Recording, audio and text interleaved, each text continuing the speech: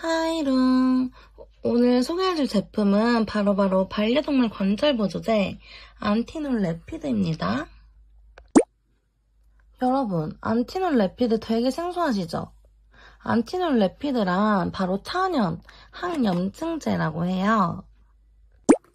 그니까 인위적인 게 아닌 거야. 천연인 거야. 내가 이 제품의 특징을 알려줄게. 일단 첫 번째, 100% 천연 성분으로 휴지기가 없이 장기 투여에 적합합니다.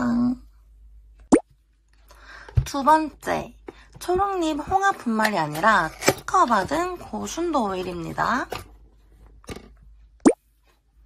그리고 세 번째, 3. 합성 보존제나 부영제 등을 전혀 사용하지 않았다고 하는데요. 그리고 수은이나 카드뮴 등의 중금속이 전혀 함유되지 않았다고 합니다.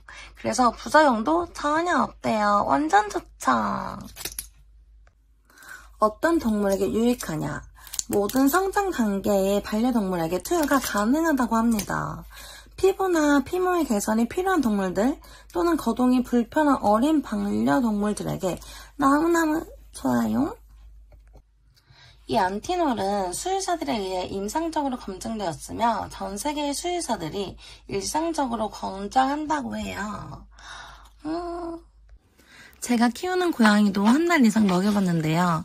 애가 부작용도 없고 왠지 더 활발해진 것 같고 그러니 활동량도 자연스레 많아지고 소화도 잘 돼서 똥도 잘 나오고 너무너무 좋더라고요. 저는 이렇게 물이랑 함께 먹여줍니다.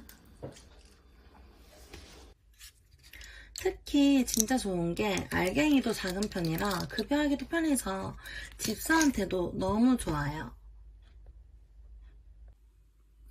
이 보조제의 효과는 피부나 털에 윤기가 나고 활력이 넘치며 더 건강해진다고 해요. 어쩐지 이걸 먹고 난 뒤로 고양이의 털이 진짜 윤기가 나고 피부도 건강해졌어요. 이 영양제 너무 좋아. 구매하고 싶죠? 동물병원에서 구매가 가능합니다. 그래도 혹시 모르니 방문 전 병원에 전화 문의 후 방문 권장을 추천합니다. 또한 대용량으로 출시해서 다경 가정이나 큰개 키울 때도 관절 보조제 비용이 절감돼서 정말 너무 좋습니다. 여러분, 자신의 반려동물을 위해서 투자하세요. 너무너무 추천. 그럼 안녕.